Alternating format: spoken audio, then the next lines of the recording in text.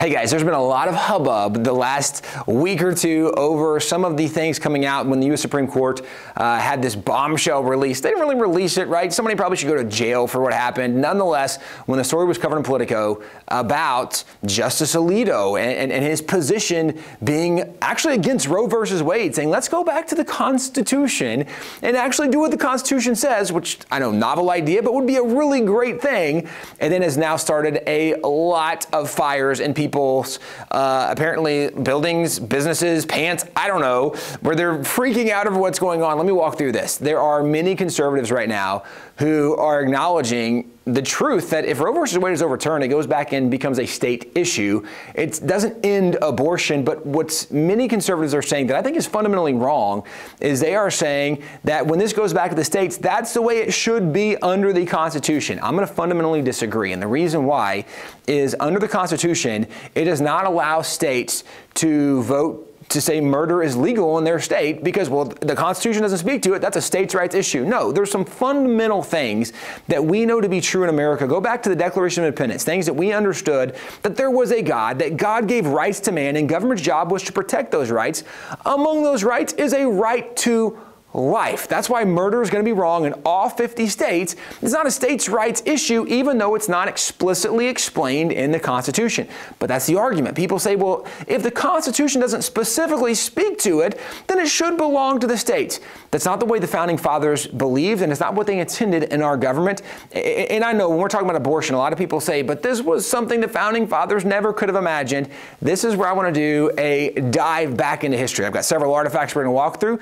And let me actually start with early political philosopher John Locke. John Locke is considered to be one of the most significant influences on the founding fathers, specifically if you look at the Revolution period. He was the most quoted, cited individual from the founding fathers during the American Revolution. If you expand that time frame, go forward to the Constitution, go forward to early America under the Constitution, he becomes the third most significant political commentator. But during the time of the Revolution, he's the most important. And in his two treatises of government, one of the things he explains is that uh, under the king, people said, well, the king can do whatever he wants because it's divine right of kings and he's from God and he speaks for God.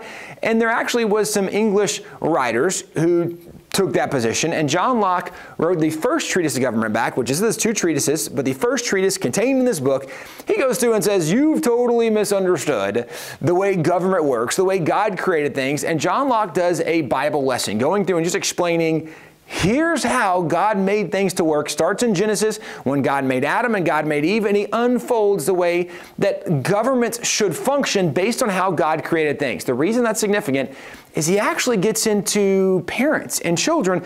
Let me read you a small passage from John Locke. And, and this is in, it's number 56. It's of civil government, but it's talking about Adam and Eve. It says, Adam and Eve, and after them, all parents were by the law of nature under an obligation to preserve, nourish, and educate the children they had begotten, not as their own workmanship, but as the workmanship of their own Maker, the Almighty, to whom they were to be accountable for them.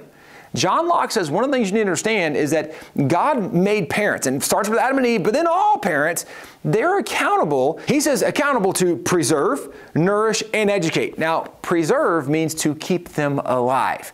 John Locke identified that parents are supposed to keep their kids alive, they're supposed to educate them, they're, they're supposed to help take care of them, and not because it's just something they've done. Like my wife and I, we made a baby. No, because they recognize, John Locke recognized, because that's something God gave to you. God entrusted that child to you, and you're responsible to take care of that child. Well, well this was John Locke's position. Now, again, the reason I'm pointing this out, John Locke, very influential in the founding fathers. One of the other individuals, William Blackstone, he wrote Blackstone's commentaries on the laws of England, and in one of his volumes, volumes, he actually gets into children as well, but this one goes into even greater detail. So John Locke identified that God is the one who gave us kids, and that parents' job is to preserve and, and nurture and to educate children Blackstone goes even further in an interesting legal direction because one of the things he identifies, he says life is the immediate gift of God, a right inherent by nature in every individual, and it begins in contemplation of law as soon as the infant is able to stir in the mother's womb. Now he says by law,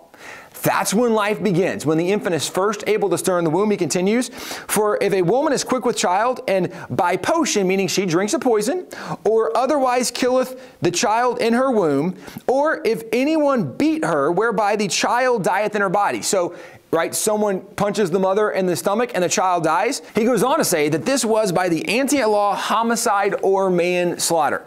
They're responsible for the death of that child, he says, because that child is protected by the law. In fact, on the very next page in the following paragraphs, he says, An infant in the mother's womb is supposed in law to be born for many purposes.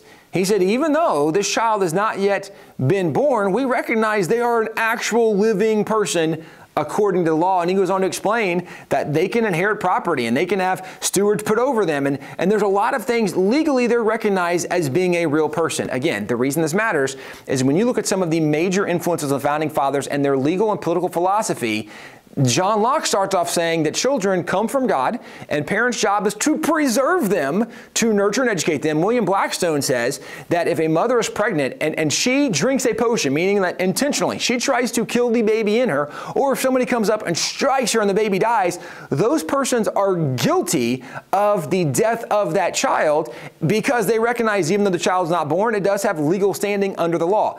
That's where the political philosopher started, but let me go even further because if you look at the founding fathers themselves, James Wilson was one of only six founding fathers to sign both the Declaration and the Constitution. After signing the Constitution, once the Constitution was ratified, he was appointed by George Washington to be on the U.S. Supreme Court. He also wrote some of the very first, what, what became known as the first law books in America. Specifically, he wrote law lectures, and he gave these lectures at a law school, and they took those law lectures and they made them into law books, and it's a three-volume set. This is one of the volumes, but this is one of the lectures he gave to his law students, again, dealing with this issue of unborn life, or pre-born children. Here's what he said. With consistency, consistency, beautiful and undeviating, human life, from its commencement to its close, is protected by the common law. In the contemplations of law, life begins when the infant is first able to stir in the womb. By the law, life is protected not only from immediate destruction, but from every degree of actual violence, and in some cases, from every degree of danger. Meaning that according to the law, that there are certain things that mothers shouldn't be doing because it brings danger to the child, and that child, even though not yet born, that preborn, that unborn child, is protected by the law. Now, this is in America. This is the, the first organized law training going on in America, right? These are the first law books in America. And he's saying to the lawyers of America that the law of America protects the right of unborn children. Why? Well, he further goes on to explain it's part of the common law. Common law is how we operated with the basic laws whereby we knew that murder was wrong, but murder not only of people outside of the womb, but murder of people inside the womb. And he's not the only founding father to get into this. Another founding father that's a, a very easy example is John Witherspoon. He was the president of Princeton University.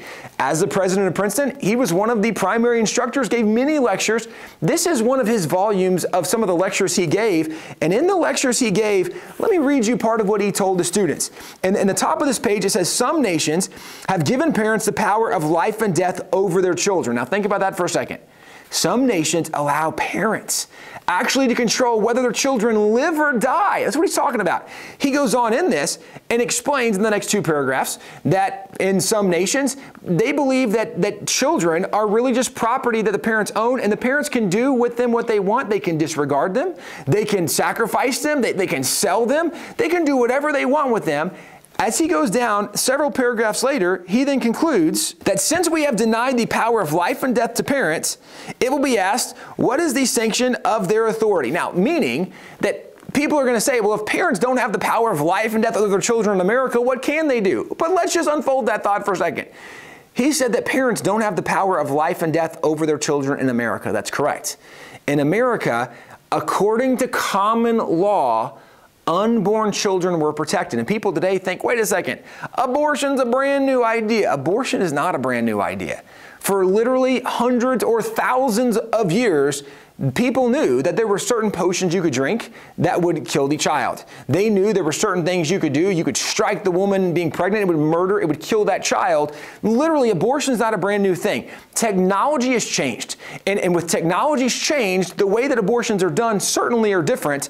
Still, every bit as evil, sometimes maybe even more evil in some of the ways that some of the modern procedures is done. Nonetheless, abortion is not a new idea. But the reason, again, I bring this up is there are many people looking at the U.S. Supreme Court saying, man, if they overturn Roe versus Wade, abortion will go back to the states where it should have been all along. No. Even in the states, abortion never should have been protected because it always violated the basic premise of law in America that governments exist to protect your right to life. And life does not start after you are outside your mother's womb.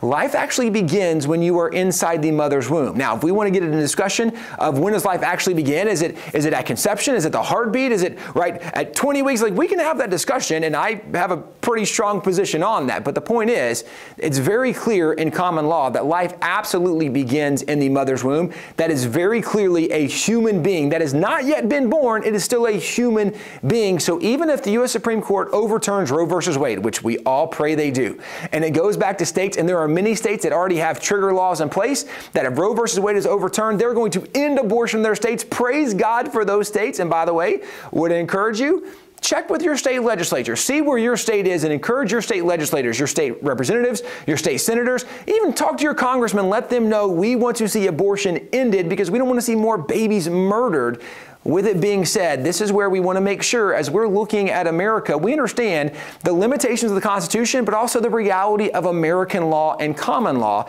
Just because things are adopted today doesn't mean it's the way they should be, and it's certainly not the way it used to be. When people say that, well, this always should have been a states' rights issue, no, that's kind of like saying slavery always should have been a states' rights issue. No, slavery always should have been wrong. There's some things that always should have been wrong, and even though it's not explicitly in the Constitution, Constitution, it still shouldn't be tolerated in the states.